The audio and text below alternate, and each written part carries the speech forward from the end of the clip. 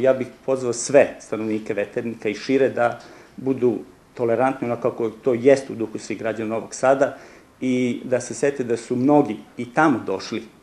sa ratom zahvaćenih područja, da su oni uspeli na neki način da reše svoje stambene probleme nelegalnim objektima kojima, koje mi legalizujemo i apsolutno izrazimo u susredstvima njima. Ovi ljudi to nisu do sada uspeli i ja mislim da je sasvim normalno da budu prihvaćeni, jer